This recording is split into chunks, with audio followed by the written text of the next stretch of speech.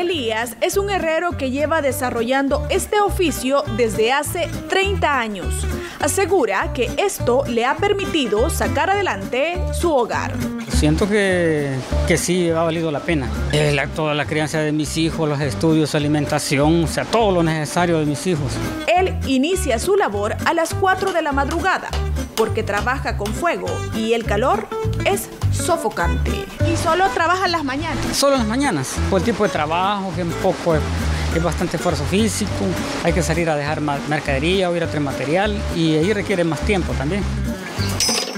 Grifos, cinceles, tenazas para cortar alambre, barras lineales, de uña y argollas hechizas son algunas de las herramientas que hace Don Elías. Hacemos grifos, hacemos tres medidas, digamos tres docenas de un cuarto, tres docenas de media por tres octavos y tres docenas de tres octavos por un cuarto. Esas son las medidas más comerciales que salen en el día.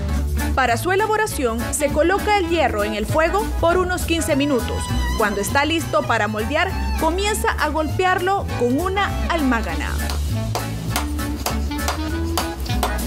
Nosotros andamos en las chatarreras buscando hierro corrugado, retazos de flechas, amortiguadores que ya, nos, que ya no los ocupan y de ahí hacemos nosotros nuestros artículos.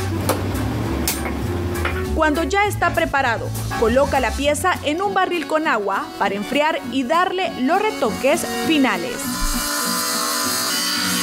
Tenemos unos clientes aquí de ferretería en el centro de aquí de San Salvador. También manejamos el mercado Belloso, Sagrado Corazón de Jesús y algunos clientes que los visitan acá también.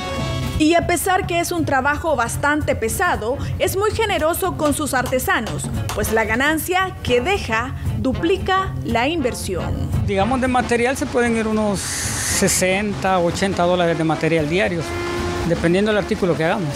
¿Y a esto se le saca cuánto?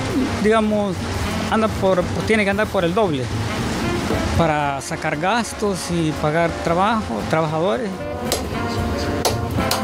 Este es un oficio que ha trascendido a través del tiempo y que sin duda le ha permitido a varias familias, como a la de Don Elías, salir adelante.